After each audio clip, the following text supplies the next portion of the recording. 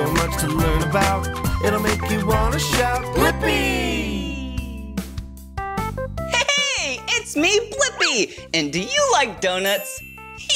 Yeah, I do too, but I only eat donuts after I eat a nice big healthy meal. But today, you and I get to draw a donut. All right, let's first take this brown marker and draw a big circle. There we go, just like that. And let's draw a smaller circle on the inside. Now it looks like you can hold that donut, huh? Om nom nom nom. But it doesn't look tasty without frosting, right? I know. I should probably take my pink marker and then draw some frosting right there.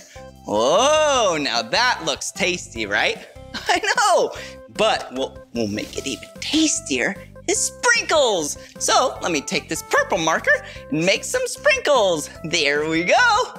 Wow, pink frosting and purple sprinkles. Whoa!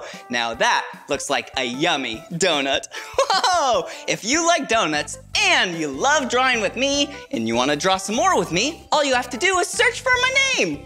Will you spell my name with me? Yeah.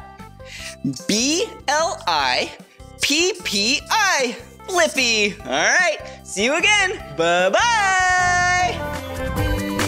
Come on, everyone, let's make learning fun. So much to learn about, it'll make you shout.